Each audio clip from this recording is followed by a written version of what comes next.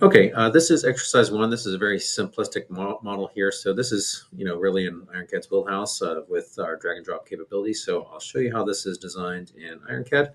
So we'll start here essentially uh, with the block. So the block uh, in this model is actually a certain size. It's uh, 62 uh, units high. And then I'm going to right click and drag this out. It's 29 wide. And we can set the depth of this to 30 instead So that's basically our block.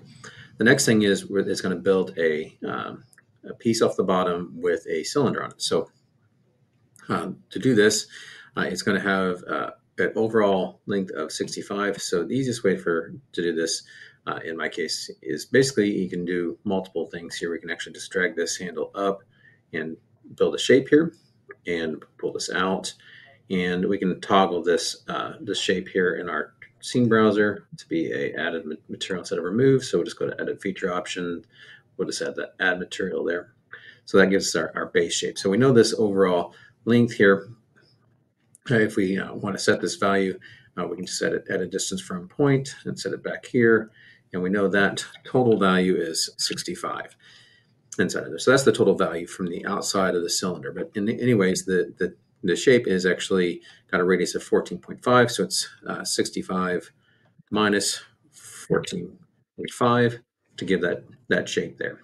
So then we can just simply add our cylinder on here. So if we drop our cylinder onto the shape, we can then just snap this top up here, snap the bottom to the bottom side, and then snap the outer side to the radius, and that will give us our total distance. So if you wanted to see this, this distance here to here is now 65 inside of there.